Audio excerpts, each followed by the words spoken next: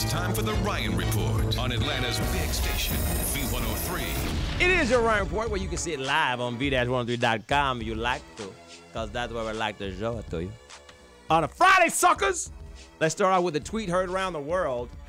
Uh, Elaine and David McClain have a little bit more money in the bank. Uh, they appeared on television and announced that they, uh, you know, basically had accepted Spike Lee's apology for the tweet heard around the world. He uh, mistakenly gave out the address he thought was George Zimmerman's, but uh, it was not. It was the McClains. They've reached a settlement with the filmmaker. What's that got to be worth? Hey, Because their at son's least, at least half a mil. their son's name was William George Zimmerman. Yeah, that's half. That's got to be at least a million. Yeah, At least half. Yeah. Yeah. Said that Spike called to apologize for retweeting their address. William George Zimmerman. Not that George. no. Just just wrong. Just wrong, man. Just wrong. And uh only thing more wrong than that is probably Snoop Dogg telling MTV he's about to explore an entirely new musical direction. He's gonna have a reggae album. Can't wait to hear that. Ooh, we two, one, three, A to the B, C to the D. Ooh. Put the horns in. Ooh. Now put the bong in.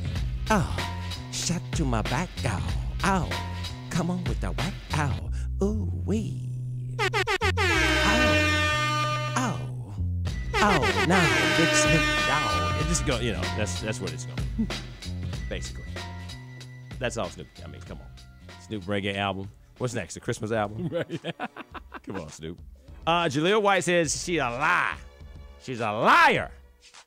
He said that uh, the mother of his daughter, Bridget Hardy, who called her, he, he she said that he called her white trash.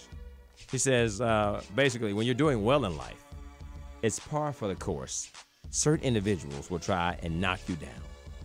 When the individual is also the mother of your only child, it is particularly hurtful. I can assure all of my fans this is only residue from a child custody matter. I never heard residue used like that before. Excuse me, Jaleel, you got a little baby mama on you. Get, get that off. And the Bodyguard musical is going to happen. Uh, they talked about it. Now it's going to happen. On November 6th, the stage adaptation will start previews and open in December. If you want to go see it, you would have to go to London. So that's what it's going to be. Was this already in the works, or was this something that just came up? It's bodyguard everything now. Yeah. It's bodyguard everything. All right.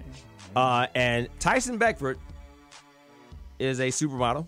There's also a supermodel by the name of, uh, I guess, Shanina Shaik. You ever heard of her? Nope. She's very, very, very hot. She's smoking hot. There she is. Most supermodels are hot. There she is. You don't want to zoom in on that. That might burn your lens. Back it up. Uh, he says, when I found her, she was a regular girl. I helped place her with the right people. I got her teeth cleaned, her body toned up. Everything changed. And now everybody wants a piece of her. I hear people say, You can do better than Tyson. I'm like, Really? Really? I created her. So I guess his new name is now Tyson the Creator. It's like weird science? He made a girl. Come on, man. Come on. All right. That is your Ryan Report. Where, of course, Nicki Minaj was on American Idol last night. Uh, she also tried to get another job. J-Lo's not having it, man. She's Jenny from the block. You know what I mean? Watch this. No, I was hoping maybe I could come back and be a guest judge. A guest judge here? Maybe. I, I defer to the panel. Would we accept the guest judge? Time, come on. J-Lo, can you scoot over a little bit and let me get up in there? I don't know if there's enough room for both of us up here. I know, I don't think so. We'll settle this next week. And that's your Ryan Report right here on the People Station. More gas cards coming up. V103. And if you don't know, now you know, you know, you know.